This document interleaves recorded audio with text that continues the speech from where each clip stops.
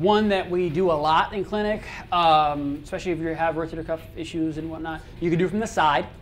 Uh, but these manual perturbation external rotations are similar to what I did side lying, where it's like hold, eccentric, hold again. What we do with this, and I have a funny story about this one, this is cool. Um, I was at a Kevin Wilk conference years ago, and he was showing videos about um, his time with Drew Brees after he dislocated his shoulder. Remember that nasty thing? Um, and he's doing this move. And I'm like, oh, that's interesting, cool. Uh, it's basically just external rotation with a cable or a TheraBand or whatever you want. Uh, but when they come back to the middle, there's a lot of they, there's a manual disturbance from the therapist. So just don't let me move you. In, out, up, down, in, out, up, down. And then, okay, do five more. Do it again. I mean, it burns you up real fast. The external cuff muscles just don't have the endurance, but this is a great way to add it. So he's showing the video of him doing this with Drew Brees, who's a superstar athlete. Um, then throws him on a, you know, kneeling on a TheraBall, and then standing on some Dynadiscs. But it's all about like this hands-on of this movement. And everyone in the row is sitting next to us is like, yeah, well, you got three hours with them. You can do whatever you want. It's like, how much? Well, what if you if you need it? Can't you get it? And I'm a young therapist at that time, working for some other mill, and I'm thinking the same my, the same thing. Like, I don't have that time. So you have to kind of pick. Well, is this the one thing you want to do?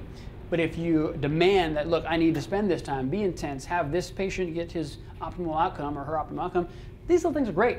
Okay. It's nothing more than a couple reps out here with a cable or band.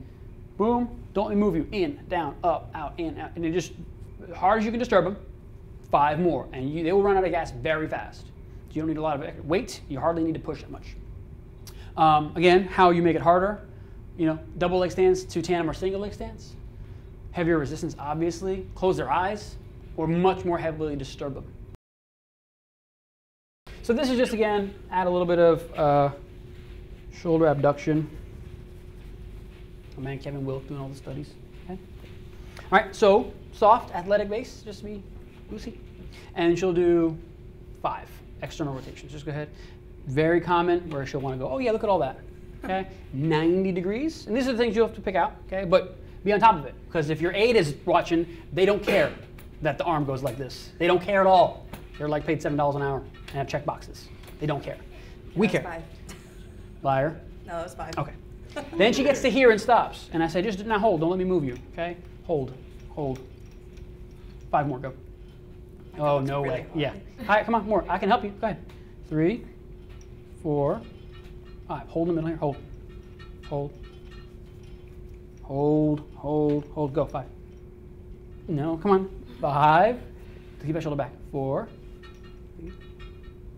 It's good. Hold the middle. Hold. Hold. Hold. Hold. Go five. Oh, Oh. no. Come on. Four, three. I'm doing all of it. And relax. Good. Gotcha. So simple. And that's going to burn out real fast. And you can, that's two kilos and not a big deal. Um, use bands, use monster bands, whatever, but there's two cables for you guys. Um, good. She was athletic. I can make her real small, and uh, you know, this is really tough on uh, a lot of the hip rotator muscles. So you're just adding a balance challenge to this, and you can add all kinds of things.